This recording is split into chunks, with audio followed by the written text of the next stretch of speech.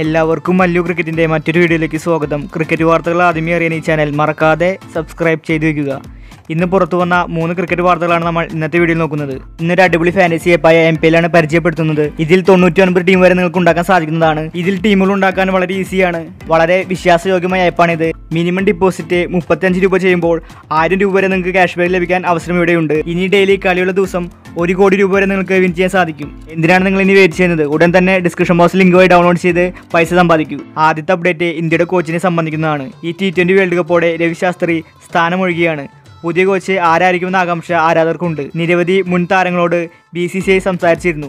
Ricky Ponting V V S Laxman Jayawardene തുടങ്ങി ഒരുപാട് മുൻ താരങ്ങളെ ലിസ്റ്റിലുണ്ടായിരുന്നു. ആരും ഇൻട്രസ്റ്റ് കാണിച്ചിരുന്നില്ല. പക്ഷേ ബി സി സി ഐക്ക് ദ്രാവിഡിനെ കോച്ച് ആക്കണമെന്നായിരുന്നു ആഗ്രഹം.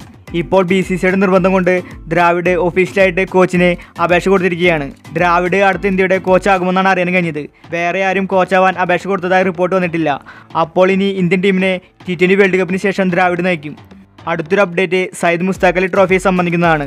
സി എസ് കെയുടെ ഓപ്പണർ ഋതുരാജ് ഗേക്വാദിനെ ഇപ്പോൾ മഹാരാഷ്ട്ര ടീമിന്റെ ക്യാപ്റ്റനായി നിയമിച്ചിട്ടുണ്ട്. ഈ സീസൺ ഐ പി എല്ലിലെ ഓറഞ്ച് ക്യാപ്പ് ഹോൾഡറാണ് ഋതുരാജ്.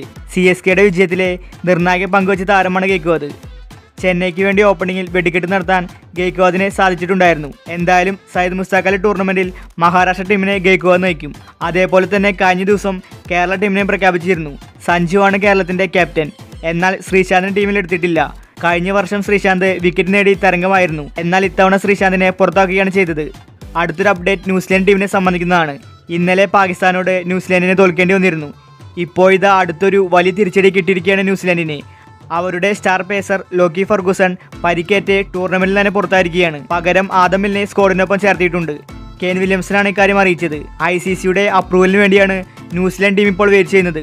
ഗ്രേഡ് ടു പരിക്കെന്നാണ് സ്കാനിങ്ങിൽ വ്യക്തമായത്. പാകിസ്ഥാൻ മത്സരത്തിന്റെ തൊട്ടു മുൻപാണ് ഫെർഗൂസിന്റെ പരിക്ക് ന്യൂസിലാൻഡ് സ്ഥിരീകരിച്ചത്.